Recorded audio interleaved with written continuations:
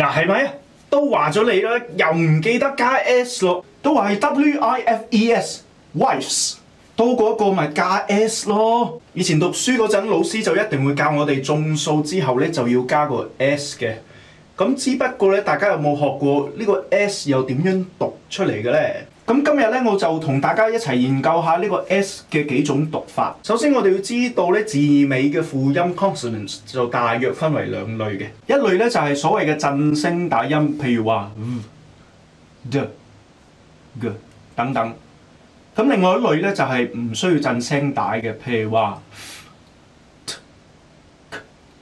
咁 s 呢個字母咧就可以分別讀成 s 啦或者 z 嘅，咁就取決於之前嗰個音。例如帳幕 tent，tent 字尾嗰個係一個唔需要震動聲帶嘅音，所以我哋會攞一個比較去配合佢嘅音，讀成 tents，tents。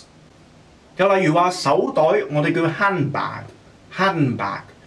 咁咧佢嘅字尾咧係一個 g 音，即係一個震聲帶嘅音，所以咧為咗配合翻佢咧，我哋個 s 咧就會讀成一個 z 音。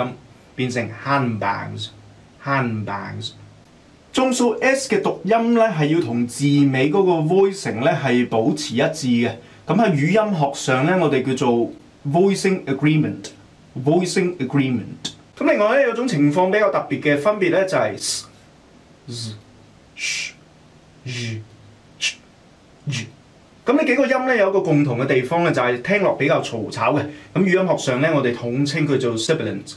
Sibilant 咁咧嗰條 rule 咧就係 sibilant 之間咧就係唔可以相撞嘅，sibilant 之間咧係唔可以相撞嘅。例如 orange 嘅字尾係 z z，咁咧佢係一個震聲帶嘅音，所以理論上咧我哋會直接加個 z z 俾佢就 OK 啦。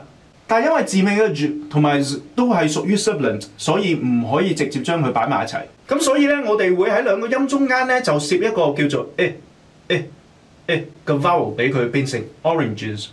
oranges oranges，其他例子都有，譬如话 churches churches noises noises badges badges 等等啦。